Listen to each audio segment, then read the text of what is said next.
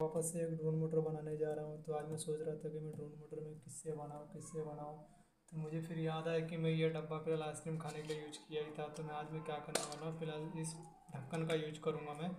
इस ढक्कन के ज़रिए दोस्तों मैं क्या करूँगा, फ़िलहाल इसके, इसको मैं क्या करूँगा, इसमें बीच में ऐसा चिटका के, ये चिटका के इसका वायरिंग मैं नीचे से निकालूँगा और इसे में, ये देखो, इसे मैंने छेद करके लिया हुआ तो इसे मैं इस तरह से आज एक ड्रोन मोटर बना के तैयार करने वाला हूँ। इस तरह से इसका रहेगा ये दोस्तों, मैं आपको इसको बना के दिखाता हूँ किस तरह से बनाने, बनेगा ये। तो दोस्तों, ये मेरा ड्रोन मोटर हो गया बन के तैयार। फ़िलहाल तो मैं इसका वायरिंग करने वाला हूँ तो ज़्यादा नहीं मैं इसको वायरिंग करने के लिए। मैं इस तरह से इसका मतलब बैटरी का यूज़ करूँगा। फ़िलहाल इसको मैं इस सामने से निकाल देता हूँ मैं इसको। मोटर हो गया बन के तैयार। बस खाली थोड़ा मैंने चेंजेस क्या किया कि जो बैटरी इसमें लगाया था ना दोस्तों, ये बैटरी में निकाल दिया हूँ। क्योंकि चार्जिंग का मेरे पास थोड़ा बहुत बंदोबस्त नहीं था तो ये चार्ज नहीं हुआ और बहुत स्लो नाच रहा था बैटरी। इसलिए मैं इसको यू केबल से मैं चलाने वाला हूँ तो इसको एक बार वर्क करा कर देखता हूँ कि किस तरह से काम कर रहा है करके दोस्तों। तो देख सकते हैं, फ़िलहाल तो हमारा ड्रोन मोटर हो गया, बन के तैयार।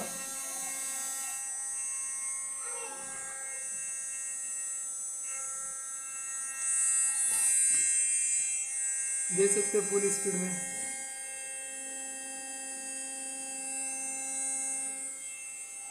दोस्तों फ्लाई तो नहीं कर रहा बट मैंने अपना लोटस ड्रोन मोटर बना के दिखाई दिया आपको मैं। बस इसके बाद जो ड्रोन मोटर बनाऊँगा थोड़ा मैं कोशिश करूँगा थोड़ा और अच्छा बनाऊँ इससे।